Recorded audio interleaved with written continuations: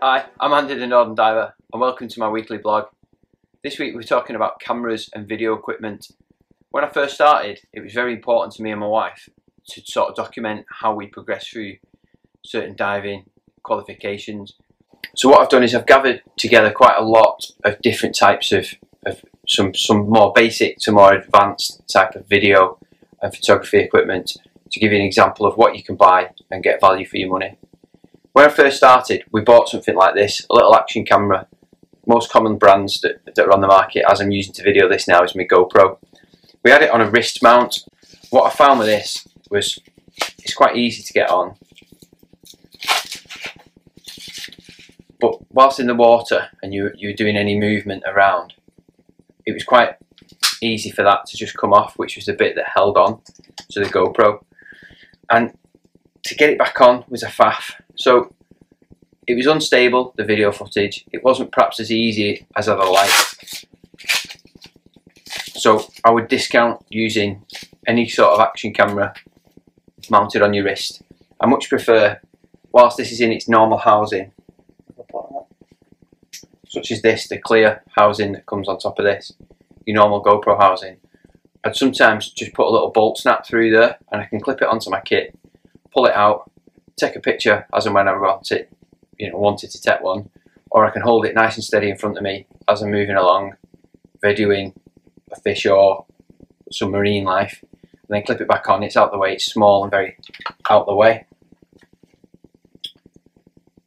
The next sort of thing that we progressed onto was getting lighting, and I find it annoying when I, I try to use my torch, which would have a sort of burst of light that come out left and right, and then a sort of central core of light, and that was extremely bright. So whatever we were trying to take a picture of or video was too brightly lit up by that torch. So what I'm using on my GoPro now here underneath is just a floodlight. There's no spot to it, and I find that gives a much sort of brighter light to the image you're trying to take rather than that central core of ultra bright light that just bleaches out the whole picture. So what I've just most recently bought for my GoPro is this. So it's got two two sort of torch looking lights but they're not the video lights so as you turn them on you'll notice they're quite bright but they're just they're just a floodlight not a spotlight so it's ideal because you can hold it left and right get quite stable on it um, but it's also got the Goodman type handle. So should you be doing anything else, if you've got um, a reel underneath your hand, like a cave reel or anything else, it's, it's quite easy and secure. Sort of, it's quite easy to hold whilst doing something else. So you could, whilst not using it, you could be holding onto a shot line, you could be winding up your reel, um, sort of any sort of task, I think. It's, it's got a nice big chunky handle so you can get you know, a gloved hand through there, no problem. It's not adjustable up and down, so if you've got a tiny hand, perhaps it's not the most perfect one for you. But by tightening up these on the side here, you can adjust your lights to, to be focused on what you're looking at. I think that's a cracking piece of kit, although much like any dive kit for underwater, and certainly depth rated, they're quite expensive. This retails at about 250 quid that's with both torches without batteries and without the GoPro so that's just what you see there without that.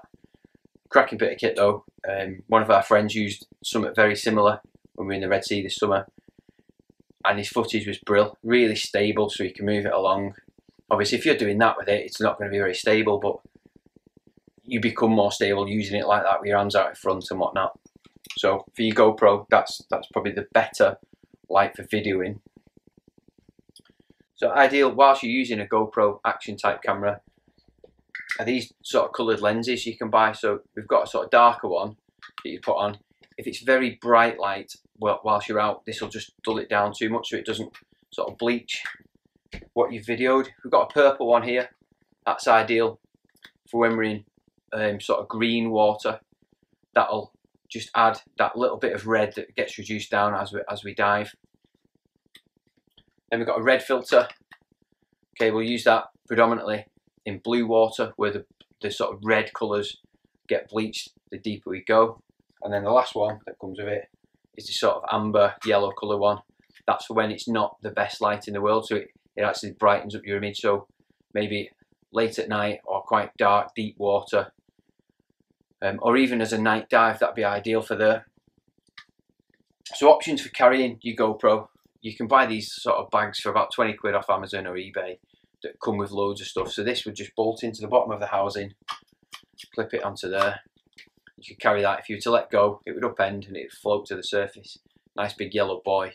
That'd stand out quite easily so the boat, or, or if you were at sea as such, that would get seen quite easily. Um, one of my preferred things, I've only bought it recently, um, was an extendable sort of selfie stick kind of thing. So quite similar. The, the housing mounts on the top. But you can take some quite good shots by of yourself whilst videoing with with sort of marine life. So if you look at our video of where we're at the Farnes that I was always on at the end of these videos, I was using this throughout that. So I was holding it up, getting pictures of the sort of jellyfish around me, the seals behind me, stuff like that. So certain different bits of kit there that go with the GoPro, just depending the kind of dives you're doing. What I wouldn't be encouraging is you to wear the GoPro on the top of your mask because when you breathe out, the exhaust bubbles will go straight past and it becomes annoying. So you're not going to get any good video footage. Added to that, you can't see what you're videoing because the screen is not accessible to you. Whereas on this now, this video I'm making, I've got my iPad there showing me what's being filmed so I can see whether I'm sat in the right place or I've got everything, you know, and, and if you're thinking you're videoing something and you've completely missed it, you'll be devastated when you get back. If you're a beginner diver, which is what I've sort of aimed these videos for, having your, your typical sort of action cameras, whether it be sort of small GoPro Hero session, which this one's dead now because a low submersible this only went to, to about four meters before it drowned. Um, so I wouldn't recommend buying one of these to go underwater. Whereas something like this, they're cheap. You can buy them for about 40 quid with a case and a couple of clips. The, the sort of copy of the GoPro. They're, they're all right if you just dive in recreationally, so about 20 meters, absolutely fine. Whereas the one I'm using now, the Hero 4, phenomenal. I've had that down to 50 meters to cracking photographs with it still pictures sometimes make the battery last longer. It's not going to be the battery that will limit how much footage you can take with something sort of similar to these kind of cameras, but it will be the memory card. You know, I've picked this up for less than 15 quid. It's 128 gigabytes, which is phenomenal for less than 15 quid. So you could have that on pretty much for an entire dive on video and you probably wouldn't feel it unless you're using 4K video. So for 15 quid, get yourself one of them. Ideal. When you get out the water, you can just ping it all over onto your phone or to your computer and, uh, and then wipe it all again. Cracking idea. But certainly to document any of your, your dives or to take pictures of stuff that you know that's going to be there. Um, take pictures of your friends to keep your Instagram or your Facebook up to date. Any of these will do. So recently, uh, I went diving a couple of weeks ago. One of my friends has just paid about the same sort of money, about 250 quid. It's the same price as a GoPro, or the more basic ones, so the GoPro 4. He's bought this torch, and it's quite a bright torch. You've got certain different options. If you look, there's three lenses. You've got a floodlight, which would be ideal for videoing. You've got a, a, a spotlight, which would be ideal ideal for a night dive to identify things to, to some of your dive buddies perhaps. But it's also got the means of taking a video or a photo, a photo so as you can see, the black lens at the front here, that is the photo lens. So as long as you're aiming these buttons sort of at the 12 o'clock position, the picture will be nice and straight if you just have it left or right. Um, I'll post a picture now, which is what I took of, of my friend off this camera out of the water a couple of weeks ago. Good bit of kit. For me, it's a bit bulky as a torch. It's not something I would want to take in the water, but for what it does, um, and it suits him, he's got pockets in his BCD that he can store it in. It's quite heavy, but it comes with a rechargeable battery, comes with a, a little memory card in there that fits inside, so it's all watertight. Cracking bit of kit. He's got a little snap bolt on there, clip it up on his kit when he's not using it. Or even if something was to come past, he could just flick it up, take a picture, put it back down. I think that's quite a good idea. Expensive for its idea, but good nonetheless. Now, this is one of my good dive friends. This is her setup, so it's a very small, compact camera that fits in an underwater housing. This is made by Fujifilm. Yeah, it's made by Fujifilm. So it's, it's sealed. So it's just a normal camera that you can take on your holidays, taking photos of whatever. And then it fits in this underwater housing. It's depth rated, I should suggest to about 40 metres, which is well within the recreational range. And what it comes with is this arm that we can attach certain things to, different lights and, and whatnot. But to it, to take different pictures, it comes with it's called a wet lens. So you can take that off and, and just take your normal shot. And then if you had what's called a macro, for instance, a picture that you wanted to take, so something very, very close up, yeah, you can mount this back on there. You can take a picture, take it back off. This mounts back up here and go and shoot another wide angle, perhaps like a picture of a wreck or a couple of your friends taking a, a, a sort of group photograph. Brilliant idea that because you can change from one scene to another quite easily by having the two sort of lenses available to you. And I'm, you know, I'm assuming you can buy several different styles of this. You could have maybe on another arm or in your pocket or whatever, or swap from one to another from that, that housing here. It's a cracking idea because it's got this extra arm on here so you can have this light on. She's put on a couple of clips so she can clip it to herself and it'll hold it quite tight. Once it's once she wants to use it, she can unclip the um, the pinch clip and she can extend, get the picture and then clip it back up and put it away. And you know, she gets some cracking photographs from that. In some respects, these are, are, are better because you can change underwater, but perhaps not as good as when you look at a camera that's like this. So this is your normal compact camera. Well, these have lenses that you can remove. So you could take this one off, which is your normal standard lens. We can then put a macro lens on there, which is for zooming right in. And then I've got a wide angle variant, that clip on there. The problem with doing this is you can't do them underwater. The lenses are likely to be a lot better quality and you can get a lot more from them than the wet lenses. But the problem is you need to know straight away what you're going to be taking photographs of before you get in the water. So if you're going to take a picture of a wreck, perhaps, you would want a nice wide angle lens. If you're going to take pictures of marine life on a coral reef, you'd perhaps want a macro lens or your standard sort of zoom lens because you're going to take pictures of sort of bigger fish, but you don't need it such a big wide angle. It then comes back to lighting. How on earth can we get what we want to take a picture of bright enough? So if you look at this camera setup now, you can see this is the underwater housing with a, a dome shaped port on there. So we've got two types. We've got a flat port, which is ideal for macro photography, or the dome fisheye port, which is ideal for sort of wider angle photography. Added to that then, we've got the means of the flash that's on the camera can be fired down these fibre optic cables into these external flashes.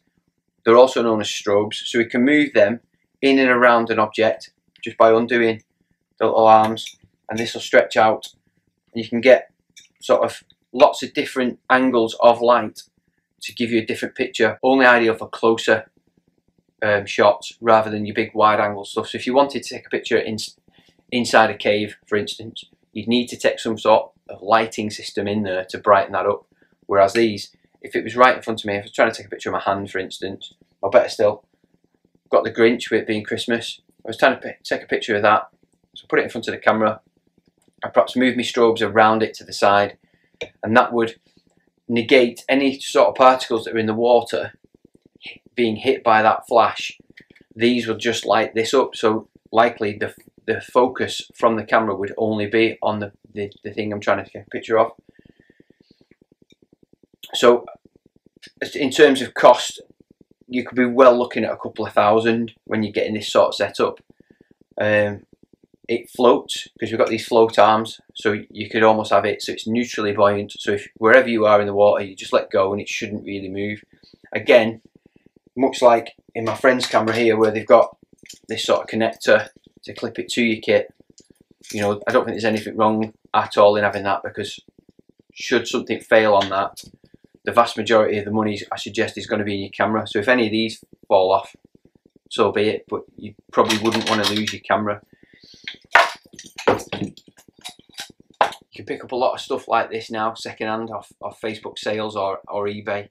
But I'd be very careful to make sure that what you are buying is waterproof. So the housing that my GoPro came in, if I was to buy a new one of these and hadn't tested it, the best thing you can do is fill that full of tissue, take it on your first dive to a known depth, come out. If the tissue's wet, it's clearly not working. Same with um, the underwater housing for quite expensive cameras.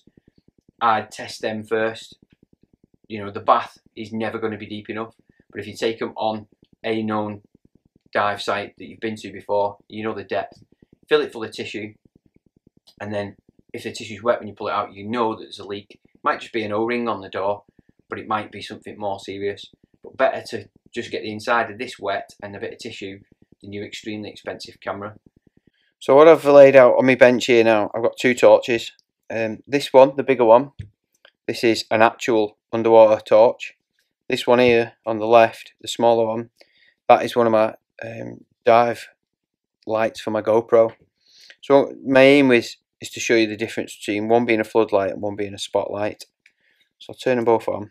So if you look at how that's lit, the area up here, it's just one great big light, isn't it? As in one area tends to be flooded. I turn this one on.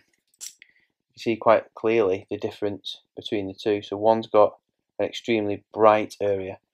So let's use it as an example. So I'm going to put the GoPro Hero Session. Imagine we're trying to video that. Look how bright that torch is brilliant. Further away I come and put the light onto the GoPro, still bleaches it out for you to see. Take the spotlight away and use the floodlight.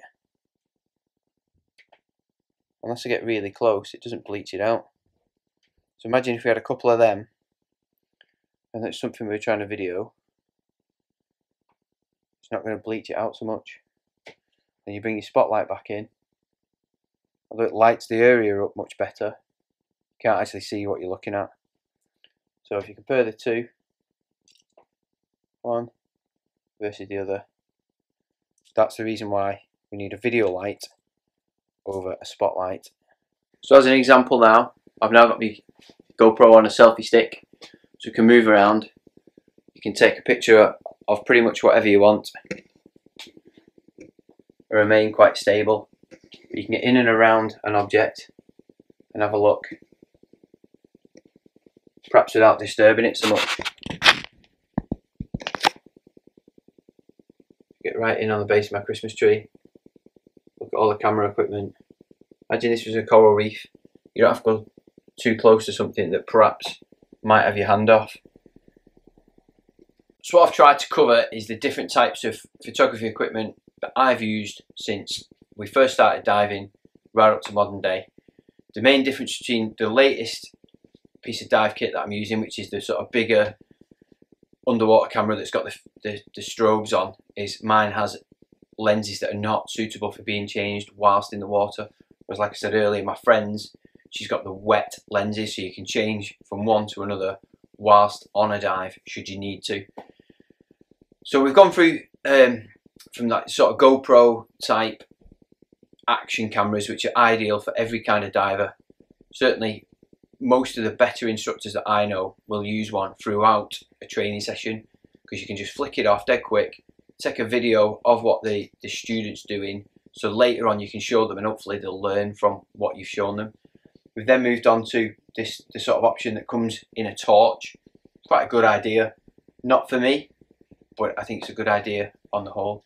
We've looked at this newer form of GoPro, which is not waterproof at all. And unfortunately, although it's rated to 10 meters, it's not actually covered under the warranty of GoPro. So just be quite aware that should you buy one of these thinking you can get it to depth or, or, or the other kind that comes in the underwater housing, although they're rated to 45 meters, they're not actually going to pay out should it bust. So you might have to make sure you've got the right insurance. And then we moved on to the sort of more amateur type photography. Very expensive. You know, you're talking minimum of a couple of hundred quid to start off, and it can take you to a couple of thousand quite quickly. But enjoy your underwater photography. Get some lessons in your buoyancy and trim. Get nice and stable in the water. And once you've done that, no knees on the bottom. Don't be standing on coral reefs or kneeling in silt because you'll just ruin the dive for everybody else. And take as many pictures as you can and enjoy them. Take them for you. Don't take them to try and copy somebody else or to be somebody else because it's it's what's fun for you. Obviously, if you like other people's photos, use them as an example. But certainly, enjoy your photography, and and hopefully, you know, you'll get some really good results. Remember, you need the kind of lighting that's that's suitable for videos or for, for still pictures. So either the strobes or an actual floodlight rather than a spotlight. So if you've enjoyed everything we've covered and it's been of some use to you, don't forget there's always a like button at the bottom. If you can give us a thumbs up, that'd be fantastic. If you got, if you if you do find our uh, videos of some use to you, there's a subscribe button that's just popped up now. There's a video from this summer when we went diving with the seals in the Farnes, and at the top will be last week's videos, which covered the second stage regulators, different kinds that they are. Hope to see you on the next one, or see you on Instagram.